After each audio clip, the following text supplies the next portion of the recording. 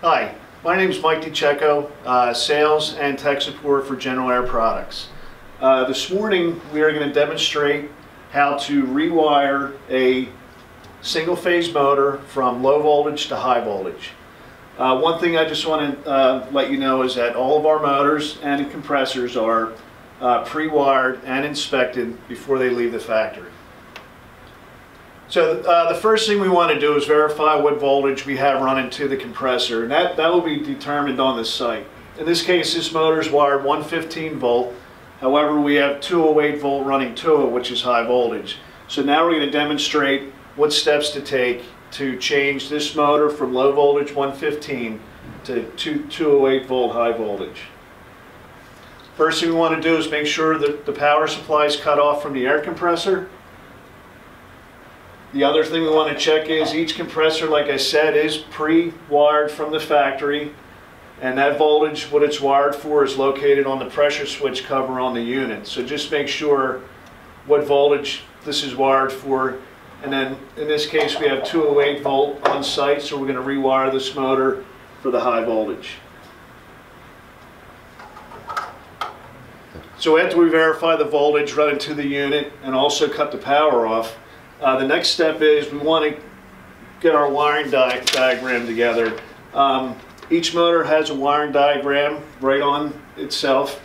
Or well, our webpage, generalairproducts.com, has all the wiring diagrams for every air compressor we make. So you can download it off the website before you leave, or we even have the, uh, the QR label on here that you can access our uh, website if you're on the site, on the job site. So here we have the motor plate cover off and exposing the internal wires of the air compressor. So we have two wires coming from the, or three wires coming from the pressure switch. We have a hot, neutral, and a ground wire. They're already uh, wired in. So now I'm going to inspect each wire, take the wire nuts off, and just make sure the wires aren't kinked or damaged.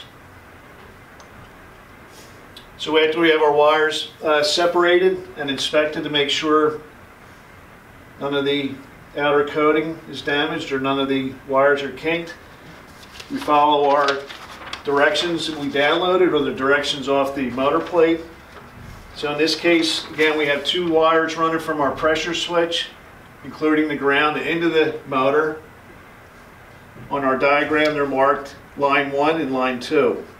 So the first step for high voltage, we're connected line 1 from the switch to the wire in the motor marked P1. So line 1 to P1. Next step is P2 wire in the motor is to be capped off by itself. P2 three wires left in the motor and they're to be tied in with the line 2 which is the second line from our pressure switch. Okay, so after following the diagram, we have all the wires in place. It is now wired for high voltage 208. Put the wires back into the doghouse of the motor. Put our plate back on. So now the plate's back on, we're ready to put power back to the unit.